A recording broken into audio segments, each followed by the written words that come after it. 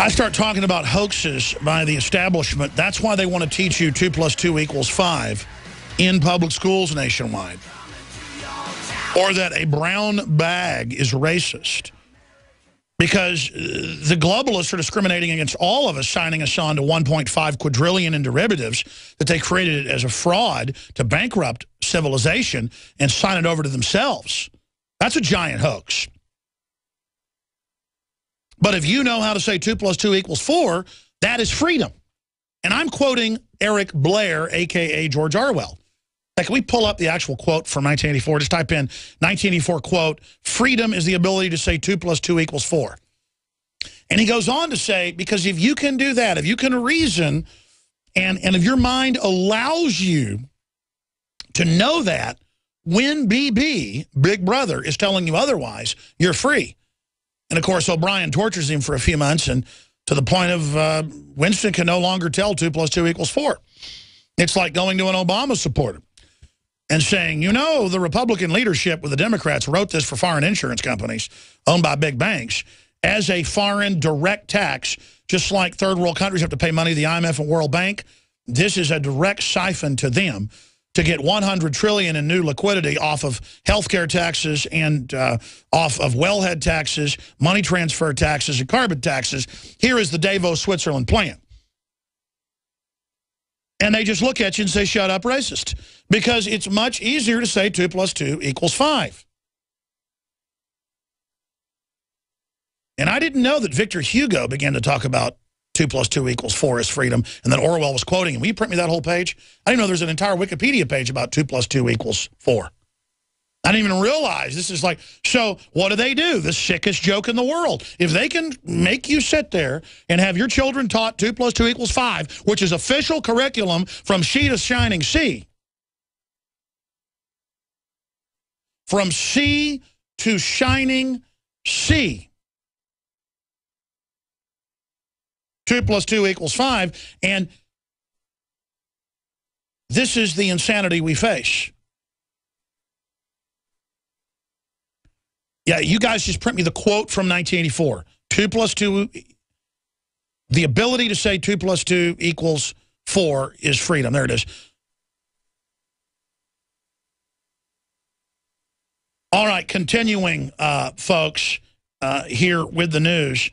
We're, we're looking at hoaxes. We're looking at how do you battle a hoax. What are the big hoaxes and what's your take on Obamacare? And then I've got a bunch of other news as well. And Dick Gregory, the civil rights activist, is going to be joining us to talk about the, the entire waterfront uh, in the third hour. Uh, continuing um, with uh, the entire Obamacare uh, situation. That is now expanding uh, across the country uh, to everyone's uh, horror.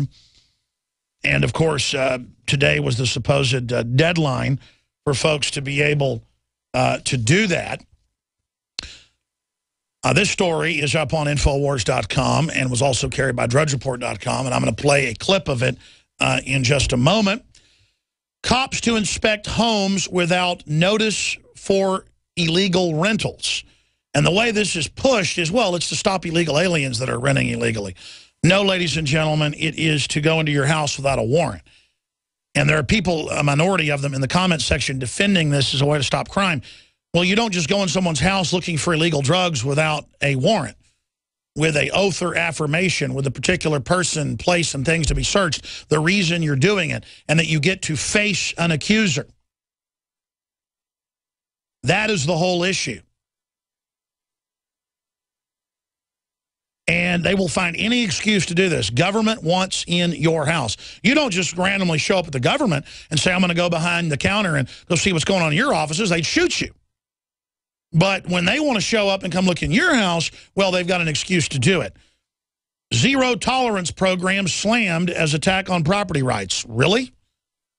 Authorities in Long Island, not public servants, have launched a crackdown on homeowners who rent their houses out to tenants who have not been registered under a zero-tolerance program that will see police conduct home inspections without notice. Yeah, they passed a law a few years ago in Austin. The hotels got it passed, trying to ban people on Craigslist renting out their apartments or homes for uh, ACL or for South by Southwest or other popular events in Austin. And I've never rented my places out, but I'm tempted to do it just all the places I've lived. I've never rented anything out. But I probably should just to thumb my nose at the establishment. I mean, it's not enough we pay property taxes on it. That's feudalism, and this country didn't have until the last 60, 70 years, where, where, where your property is not even your property. Now, all over the country, not just in not just in New York, but all over the place, the police are showing up without warrants and saying, open up, we're going to see who lives here. First time I saw this was in an Illinois town. I forget where. Listener sent us the local newspaper. It was a suburb of Chicago. This is about 15 years ago. And it described the police you know, the Johnsons woke up at 5 a.m. to have the code enforcement police standing over their bed, telling them to stay in bed, shining a flashlight in their eyes without a warrant, and counting their toothbrushes. The House was only authorized to have two in it under property taxes, but they might have given the Johnsons a fine if they had three toothbrushes. Luckily, they didn't. And they were just reporting it like it was totally normal. Imagine you wake up, they're shining a flashlight in your face without warrants, uniformed code police. I mean, that's Agenda 21. That's where this whole thing is going. So let's go ahead and play a clip of that. I pay $9,000 a year taxes, and I don't think it's fair. Perry Esposito says the problem of illegal housing is getting worse in his Westbury neighborhood. He says at least two nearby homes have illegal tenants. Someone was living in the garage. No plumbing, no proper heating, they were paying part of that person's mortgage and, and taxes. After multiple complaints from residents like Perry, the village is cracking down with what it calls a new housing enforcement program. The village says there will be zero tolerance for those breaking the law. Among the changes, the village will create a housing enforcement unit and hire two new officers. It'll conduct inspections without notice and increase housing violation fines. It will also raise fees and toughen maintenance rules for homes owned by absentee landlords. It's not targeted to any people in particular. It's just targeted to a situation, which is landlords who are making money by victimizing people in the community and by victimizing the community as a whole. This is about trying to find habitable housing for people so that they can live legally and respect property rights. In the coming days, residents will be receiving these flyers from the village informing them about the specifics with this new housing enforcement program. Perry is hopeful this. Now, again, people can say, hey, this is a way to keep the neighborhood nice. This is how you end up being Nazi Germany. You leave the borders wide open. You got Detroit and a bunch of other cities collapsing. People can barely pay their bills.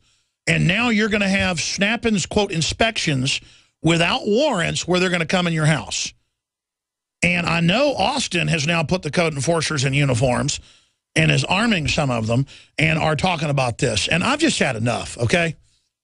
And that's why they're expanding most police forces into quasi-SWAT teams because this is just what they're going to do. It's routine now where they just have you line up against the wall, search all your papers, persons, and effects. You give them any problem, they'll just fill you full of holes.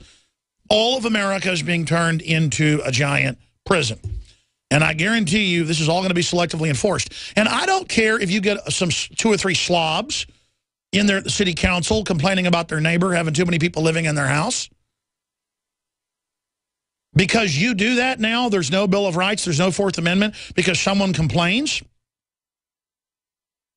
Again, I bet that those same people that I looked at on the video are big Obama supporters, and I bet they're for open borders. There it is. They just pulled up an article about Austin. Code compliance tracks down on short-term rentals. Austin, Texas. Same deal. And this is all about don't rent your house out during ACL or, or during any other big event because the hotels went and lobbied to have that done. And it's all going to be selectively enforced. It'll probably end up being the different county commissioners and city people that have the, you know, 15 illegals living in the apartment. By the way, I know a lady who manages the biggest apartment complex group in Austin, and she works for one of the biggest companies in the country. And I've told this story many times, and we're going to go to your phone calls. Um, they were called in in Dallas, where the big uh, apartment place is, is, is, based. People that know about apartment management will know the company I'm talking about. It's probably the biggest, based out of Dallas in the country. And she went with all the managers, it was a couple hundred of them, in this ballroom uh, from all over the country. And they were told, listen, we got to deal with the federal government and the Justice Department. We have secretly become 501c, whatever it was, uh, tax exempt. We want to kick citizens out, and we want to rent to illegals and let them have unlimited. Unlimited. And this is part of our deal to get the tax exemption. It's a secret deal. You are to throw citizens out. Black, white, Hispanic, we don't care. Asian, doesn't matter. If they have their grandmother visiting for three days, throw them out. We are going to, and these were nice apartments in Austin. They're now literally have chickens running around in the yards. And, and, and, and they did this and covertly went to being government housing for illegals. That was actually in the Associated Press